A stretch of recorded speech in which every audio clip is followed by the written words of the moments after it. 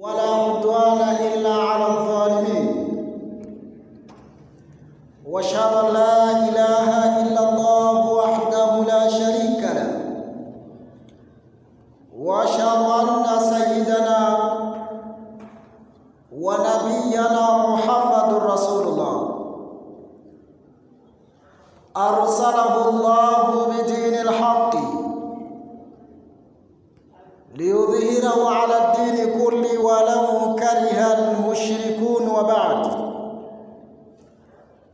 Ndugu zangu, baada ya kumshukuru Mwenyezi Mungu Subhanahu wa Ta'ala aliotuwezesha kuhudhuria katika sala hii ya al-Isha tukiwa na afya njema, hapana budi kumshukuru Mwenyezi Mungu Subhanahu wa Ta'ala kwa kusema kilma alhamdulillahi rabbil alamin, na kisha kumtakia rehma na amani kiongozi wa umma huu Bwana Mtume Muhammadin sallallahu alaihi wasallam. Wa baadu, ndugu zangu, tunaendelea kukumbushana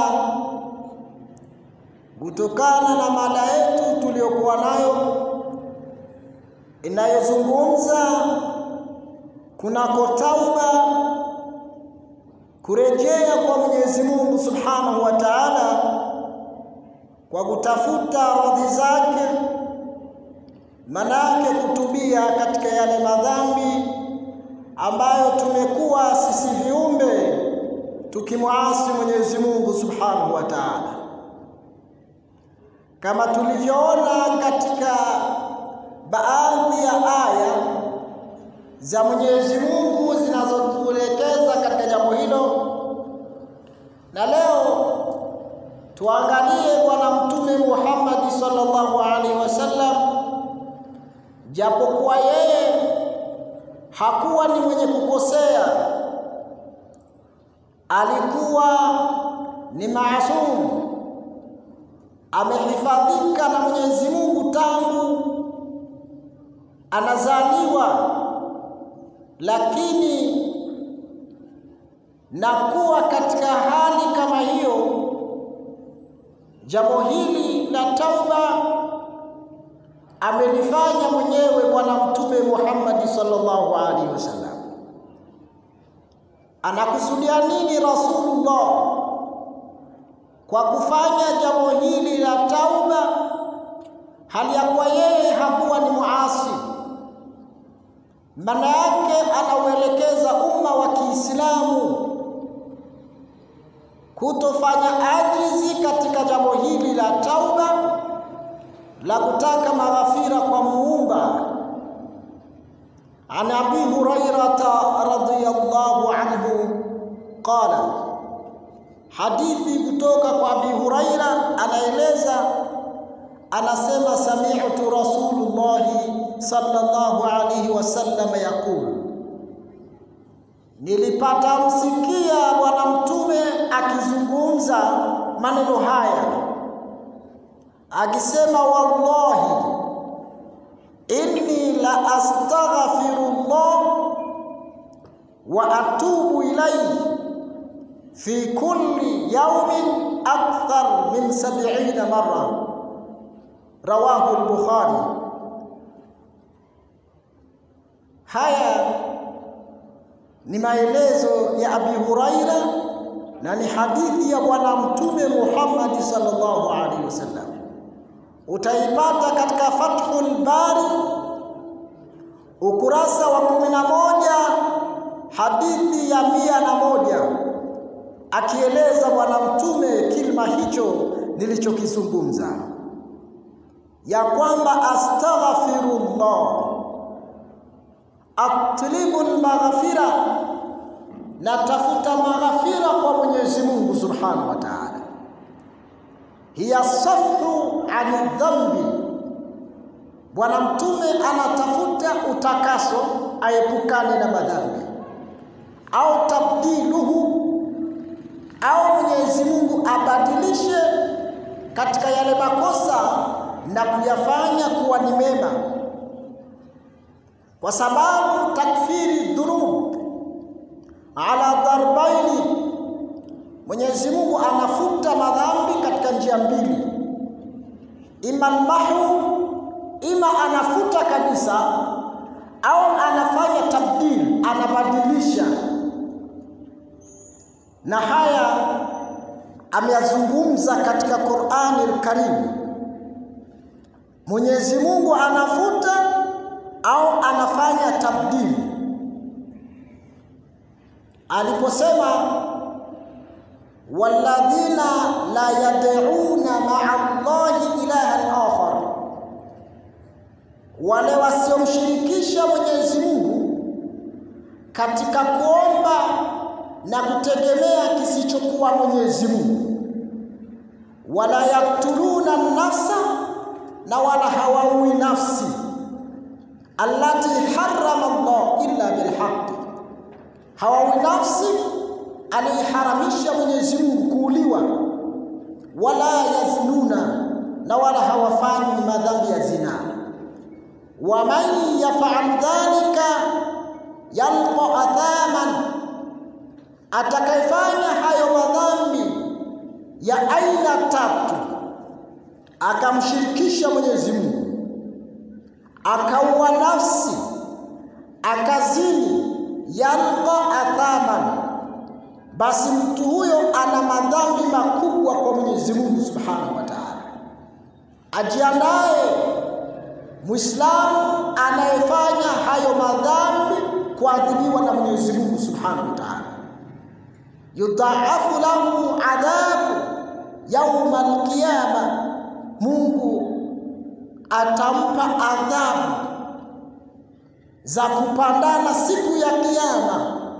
Wa yakhludu fihi muhanan, na ataishi wallahi katika moto huu. Muhanan, akiwa dhalili, akidhalilika kweli kweli, kwa sababu ya madhambi makubwa kiasi hicho, kumshirikisha Mwenyezi Mungu, kuua nafsi, kuzini na mengineyo, basi Mwenyezi Mungu atamwingiza katika adhabu siku ya Kiyama. Adhabu iliyokuwa ni kubwa kabisa. Akasema Mwenyezi Mungu, ila isipokuwa mantaba, atakayetubia akarejea kwa Mwenyezi Mungu, kama haya masiku kumi ya mwisho, akahuisha usiku, anasali kiamu laili, asifanye upuuzi, akasimama usiku watu wengine wamelala, yeye anasali, anamwomba Mwenyezi Mungu, anafanya toba. Wa amana, baada kuwa ameamini, baada kuwa amefanya toba na akaamini, maanake alikuwa ni mchafu, kafanya toba, sasa ana imani. Wa amila amalan salih. Baada ya kuwa amerudi katika imani na akafanya matendo mazuri, akafuatisha matendo mazuri, Mungu anasema faulaika yubaddilu llah sayiatihim hasanati, Mungu atabadilisha yale makosa yao, atayabadilisha kuyafanya kuwa ni mema. Kwa Mwenyezi Mungu katika kufuta madhambi anaweza kafuta au akabadilisha yale madhambi akayafanya kuwa ni mema. Wa kana Allahu ghafura rahim, na Mwenyezi Mungu ni mwingi wa kusamehe na ni mwingi wa kumrehemu mwanadamu, wa kumhurumia kiumbe wake. Kwa milango ya tauba, ndugu zangu Waislamu, iko wazi, tusiwe na haya kufanya maghafira kwa Mwenyezi Mungu Subhanahu wa Ta'ala. Kwa Mungu anafuta au anabadilisha. Hayo yote amekwisha yazungumza Mwenyezi Mungu Subhanahu wa Ta'ala. Siku moja Bwana Mtume Muhammad sallallahu alaihi wasallam, huyu alikuwa ni kiongozi wa umma, alisimama vizuri Bwana Mtume katika kazi hii ya da'wa ya kuwalingania watu kumjua Mungu kweli kweli bila ajizi. Mtume hakuwa na dosari katika jambo la kuwafundisha viumbe wa Mwenyezi Mungu Subhanahu wa Ta'ala, kwa sababu ndiyo kazi aliyopewa na Mwenyezi Mungu. Alikuwa anapokea makundi kila siku, makundi ya aina mbalimbali yanakwenda kusoma kwa mtume, yanakwenda kuuliza kwa mtume, wanauliza viumbe wa Mwenyezi Mungu Subhanahu wa Ta'ala, wanamwendea ya Rasulullah, mimi na shida, maisha yamekuwa magumu, ya Rasulullah, inakuwaje? Mtume anamwambia istaghfirullah, taka msamaha kwa Mwenyezi Mungu. Mwingine anakwenda ya Rasulullah, mke wangu ananisumbua katika nyumba, silali, vurugu. Mtume anamwambia istaghfirullah. Kila anayekwenda kuuliza shida aliyonayo, Mtume anamwambia istaghfirullah, taka msamaha kwa Mwenyezi Mungu. Wengine wakasema ya Rasulullah, au hauna majibu? Mbona kila anayekuuliza istaghfirullah, istaghfirullah nini ya Rasulullah?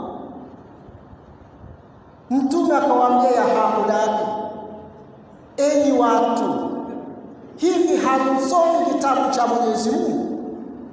Hamsomi aya za Mwenyezi Mungu?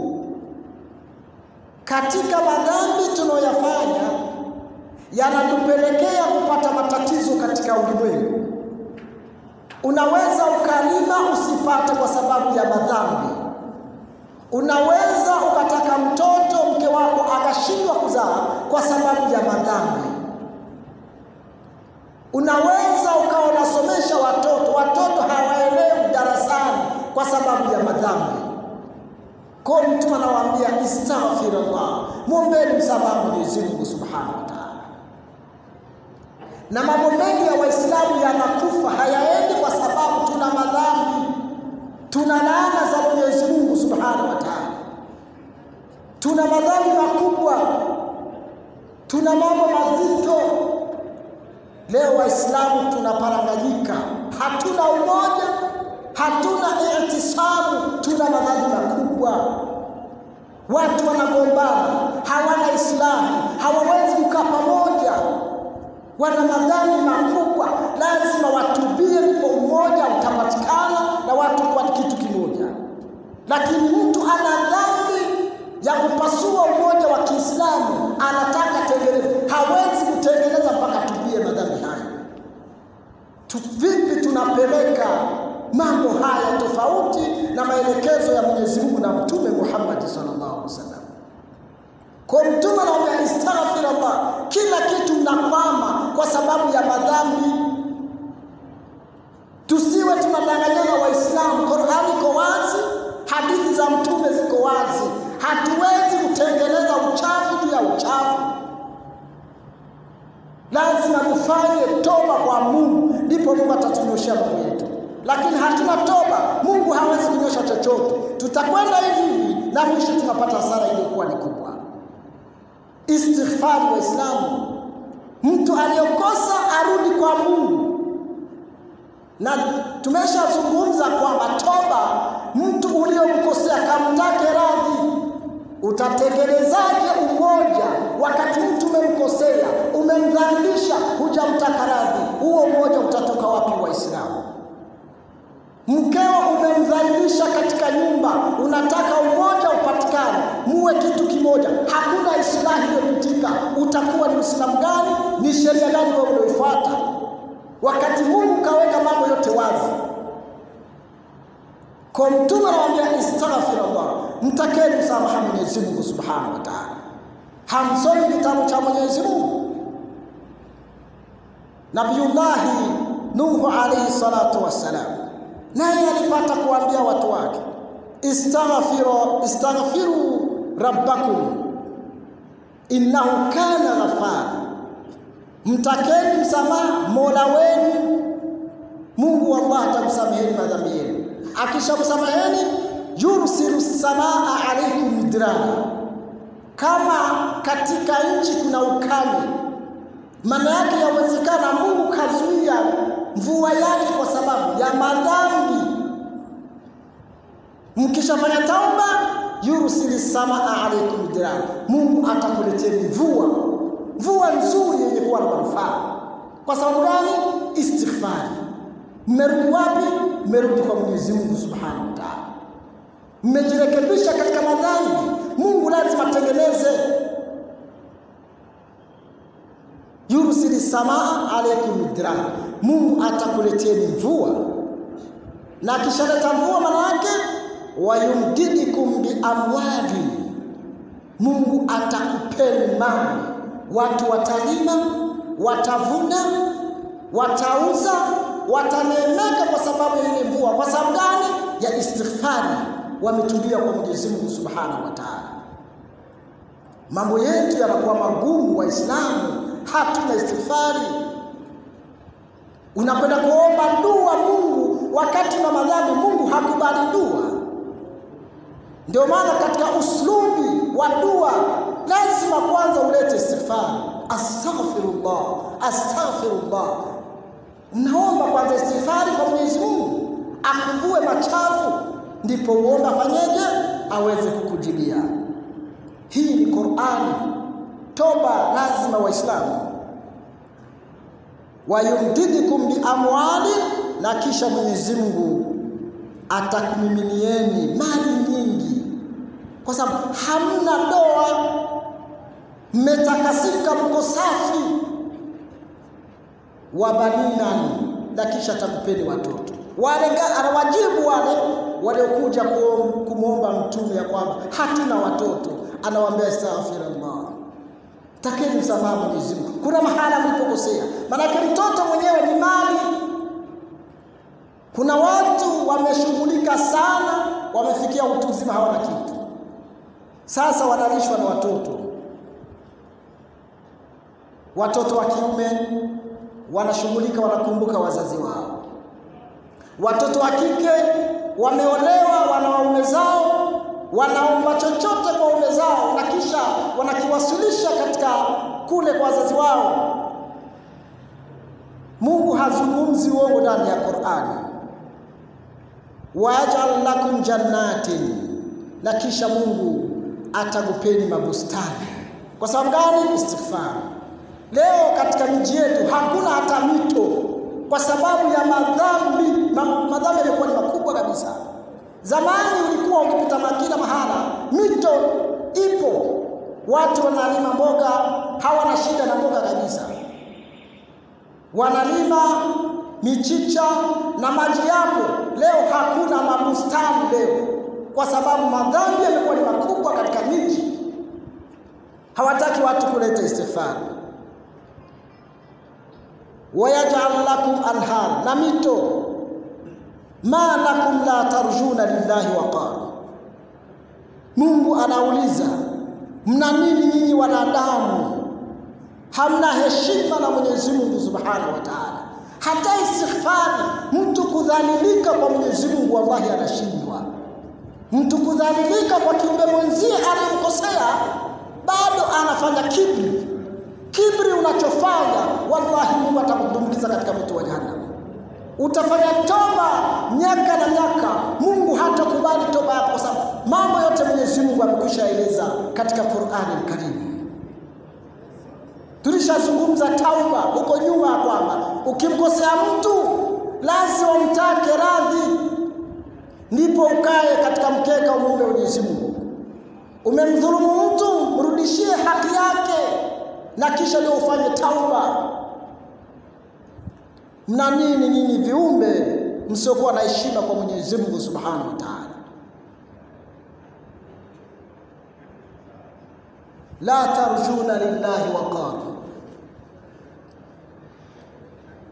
Mbona mnababaika katika maisha? Hamtosheki nye viumbe? Anayezungumza haya nani? Ni Mwenyezi Mungu Subhanahu wa Ta'ala. Kwa sababu gani? Tumekosa istighfari katika maisha yetu, hatutosheki na mtu anababaika katika maisha, anababaika, anafanya madhambi kwa sababu gani? Hana kanaa, kanaa imekosekana. Mtu hatosheki na kile alichopewa na Mwenyezi Mungu, bado anataka cha mwenzie achukue, na kisha nasubiri huyo afe, na kisha Mungu ampe pepo. Hawezi kupata pepo ya Mwenyezi Mungu.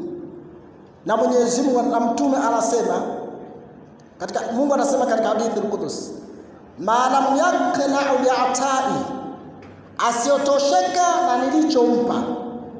Mungu kakupa kile kilichokupa, tosheka na kitu hicho. Unataka vya watu wengine?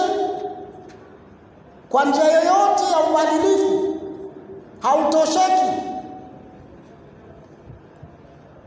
Walam yarda biqadai, na kisha mtu huyo haridhiki na kadha yangu, Mungu anasema nasema falyakhruju min tahti sama waliyabudu rabba siwa, atoke chini ya Mungu yangu akamtafute bora mwingine akamwabudu. Maana yake Mungu kakasirika, maana yake unalana wewe.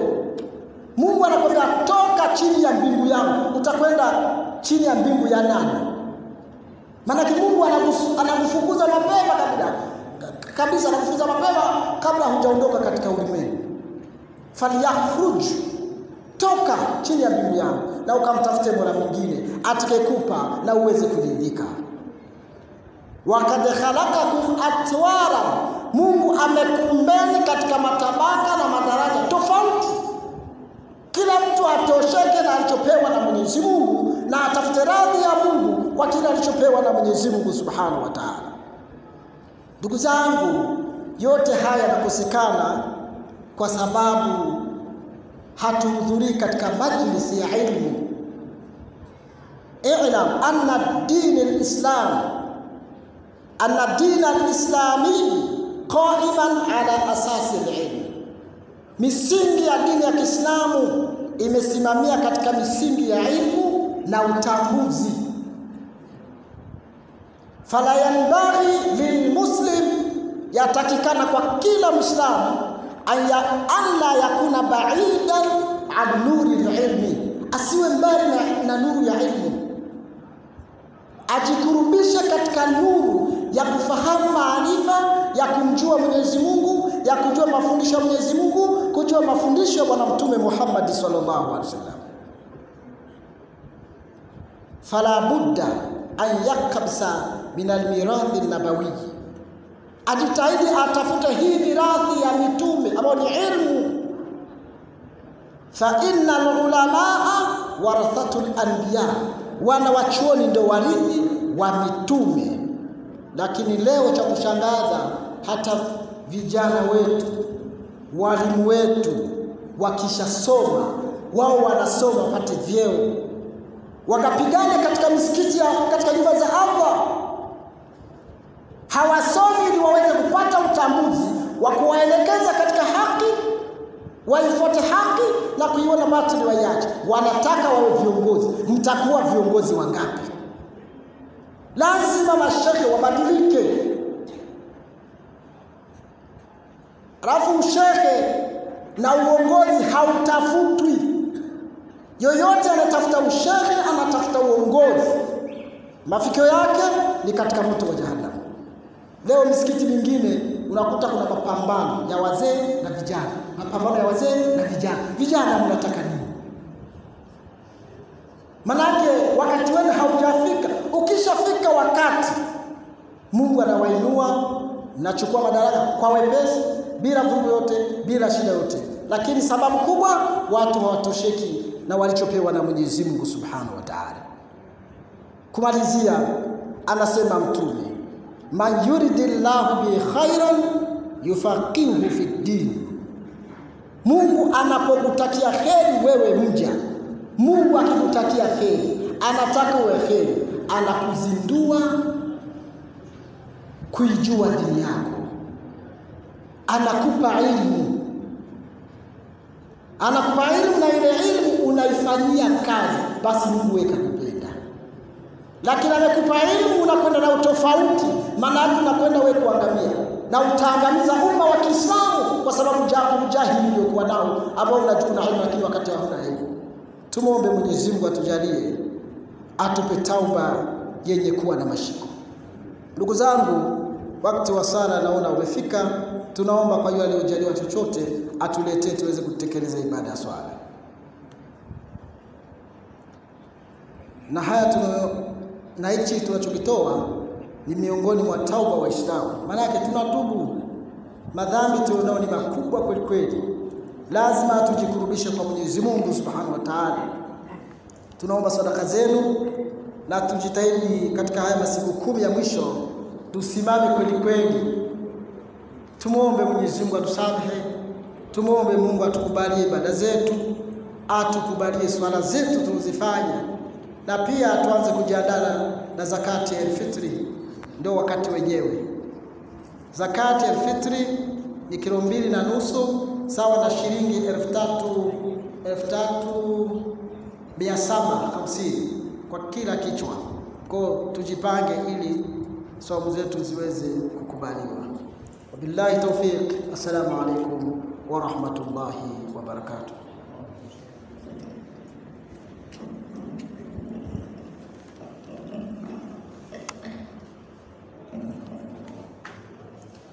الله أكبر الله أكبر. أشهد أن لا إله إلا الله أشهد أن محمدا رسول الله. حي على الصلاة حي على الفلاح. قد قامت الصلاة قد قامت الصلاة. الله أكبر الله أكبر. لا إله إلا الله.